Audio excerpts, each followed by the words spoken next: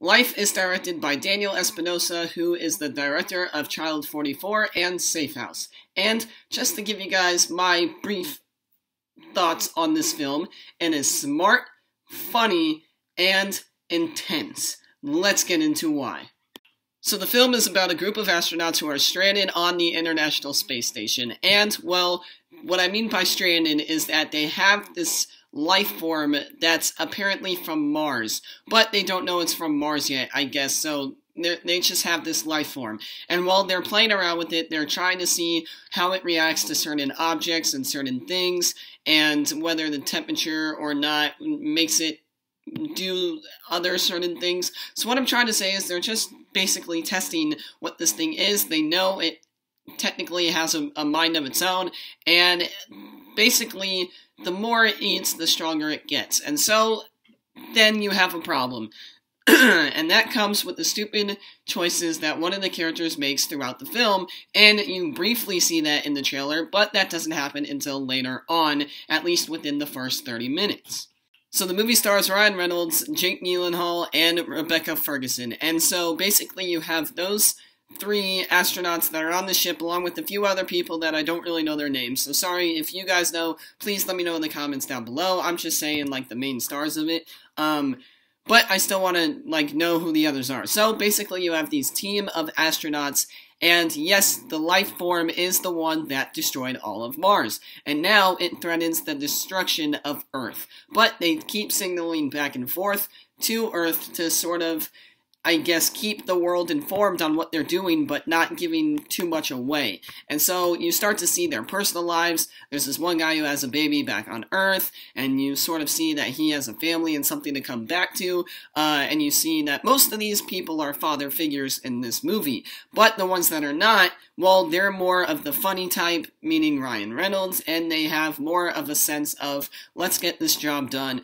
We, we're here to do this. Don't screw anything up or else, you know, we're going to be the ones who pay for it. And that is a good thing to sort of say to the crew because of what the people start doing to the creature that they find. And it's very important because once that creature gets out and once it actually starts attacking the crew, that's when things go down in this movie. Now, the reason why I'm telling you this is because you see it in the trailer. You know you know this is going to happen. If you don't think the alien is somehow going to start attacking the people in the ship, then go watch another alien movie first and then come back to this one and know what, or at least try to expect what's going to happen. But that's all I'm going to say. It, it basically is a, a survival movie in an international space station. They eventually lose contact from Earth. Excuse me and they basically are now on their own. And you see that the ship goes cold, and then one by one they start going away and dying, and they learn more about the creature at the same time learning more about themselves. And I feel like that's really important because this movie does a great job of having you care about the characters but not really know a lot about them or their backstory, even though backstory is not relevant for this film it just sort of gives you a little bit more insight on what these characters are going through and what they have back home and why they are fighting and why they are scared and and just what makes them tick in order to want to survive a little bit longer and not be so scared even though they are. So that's what I thought this film did a great job of, uh, especially with its characters, which is what I just explained to you guys. So if anything, go see the, the, the movie for the char- for its characters, because it'll hit you hard, and it it'll make you actually care about them. And every time somebody died, you were just hoping it wasn't that person that was in that situation, but obviously it was or else there wouldn't be a situation in the first place to have this movie. So there are going to be people you care about that do die. Just be aware of that, guys, throughout this film. But other than that, other than that, it's super funny. You got Ryan Reynolds as Deadpool in this film. Obviously, he's not Deadpool in the movie, but you just sort of know him as Deadpool, and you're like, oh, it's going to have that sort of humor in there, at least somewhere. And it, it was written as if they wanted Ryan Reynolds to play the role because he just did it so well. And that was for everybody. Jake Gyllenhaal's scream is on point, unlike Tom Cruise in The Mummy. And it's just, everything is so real about this, even though it's a fictional movie. And that's what's really cool.